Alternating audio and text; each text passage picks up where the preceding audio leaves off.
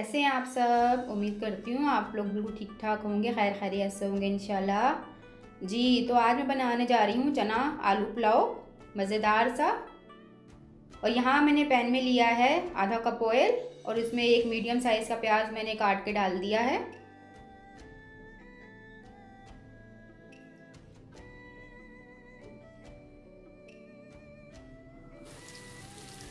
इस हद तक हमने प्याज को ब्राउन कर लेना है गोल्डन कर लेना है।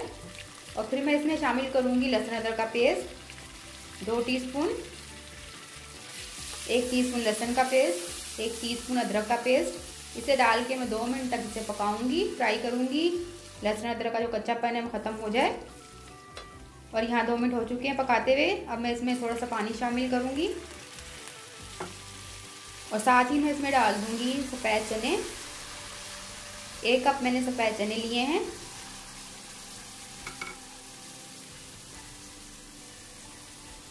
एक मैंने आलू लिया था और छोटा छोटा मैंने इसे काट लिया है और एक एक ही टमाटर लिया था।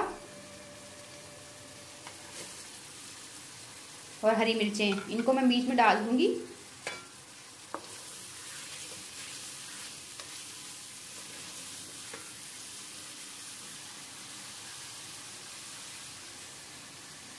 और साथ ही मैं इसके डाल दूँगी मसाले। मसालों में मैंने लिया है एक टीस्पून नमक। चिकन पाउडर लिया है मैंने यहाँ।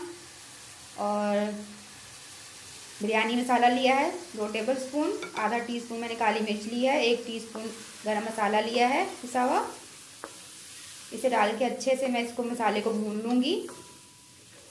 मसालों का जो टेस्ट है वो चनों में भी अच्छे से रट बस जाए।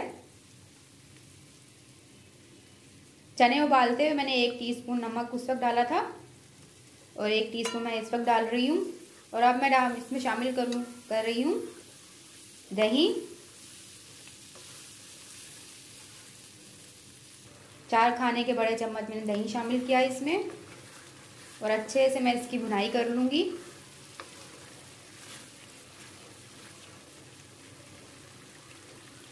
और ये अच्छे से अब भून चुके हैं। मसाला अच्छे से बन चुका है इसका। तो अब मैं इसमें पानी शामिल करूँगी। ये वही पानी है जिसमें चने मैंने बॉईल किए हैं।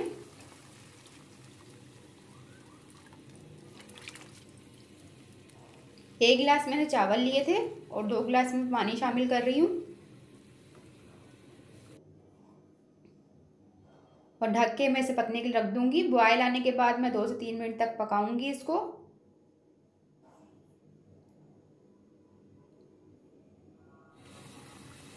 और यहाँ दो से तीन मिनट हो चुके हैं इसे पकते हुए। अब मैं इसमें चा, चावल शामिल करूँगी।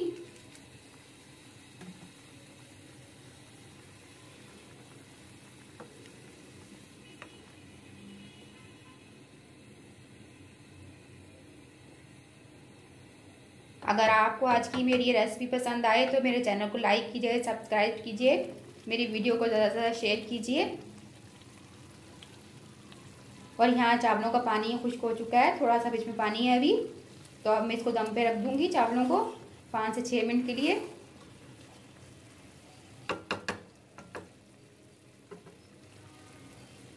ये बहुत ही मज़ेदार चना पुलाव बनता है। आप इसे रायते के साथ खाएँ, सलाद के साथ खाएँ। और यहाँ गर्मा गर्म हमारा चना आलू पुलाव रेडी है। मैं आपको डिश आउट करके अब दिखाती हूँ। आप भी ज़रूर बनाइएगा इसे। अगर अब तक नहीं बनाया आपने तो।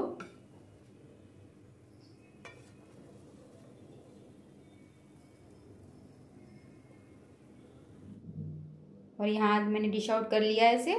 ये देखें, मज़ेदार सा चना पुलाव। रेडी है हमारा खाने के लिए। दुआओं में याद रखिएगा, खुश रहिएगा। अल्लाह हाफिज़। और मेरे चैनल को सब्सक्राइब करना मत भूलिएगा।